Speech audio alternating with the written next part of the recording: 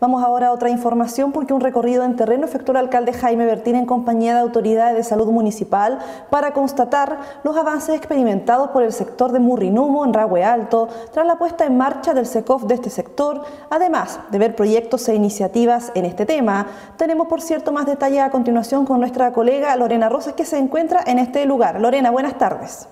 Hola Erika, muy buenas tardes. Nos encontramos acá en el SECOF de Murriurumo viendo un poco el trabajo que se está efectuando con la comunidad. Me encuentro con los doctores, con el equipo profesional y técnico que está desarrollando todas las labores acá y por supuesto en esta visita a terreno que nos cuentan también los detalles de lo que significa el trabajo en este sector y como usted decía doctora, principalmente es la llegada de un poco de, ciudad a este sector que quizás se sentía un poco abandonado pero que hoy en día con este recinto de salud de alguna manera se sienten mucho más conectados y trabajando también eh, mano a mano con ustedes en el cuidado de la salud también del sector.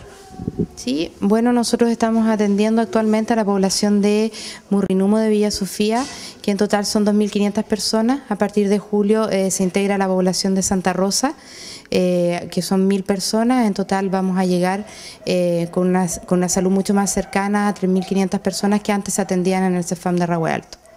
Lo cual significa también un logro porque este está sumamente cercano, está frente a los hogares y por lo tanto el esfuerzo es mínimo.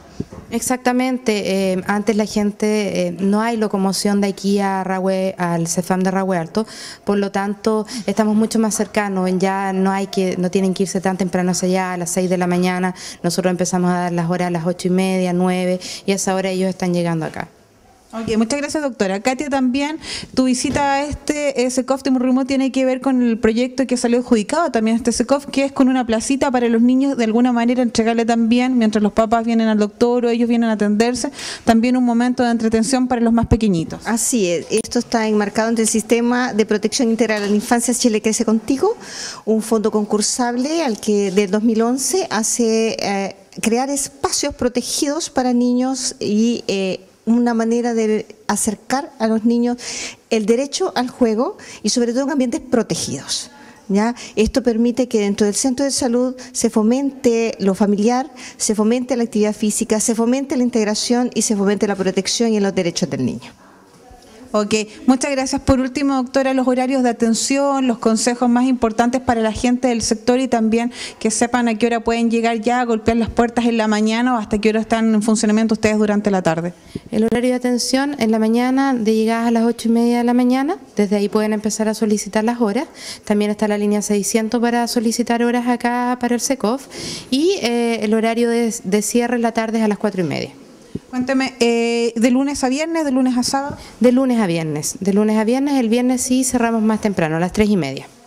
Sí, por supuesto, para preparar el fin de semana y retomar ánimos entonces para la atención de los próximos lunes.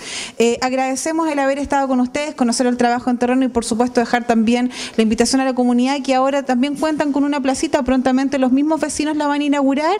Lo ideal es que los chiquititos se van a sentir mucho más cómodos acá en este sector. Aquí tenemos una prueba de, de eso porque vemos aquí a una vecinita que también los está acompañando. Agradecerles a ustedes y por supuesto no sé si quieren dar algún mensaje a la comunidad que tenga que ver con el vivir sano.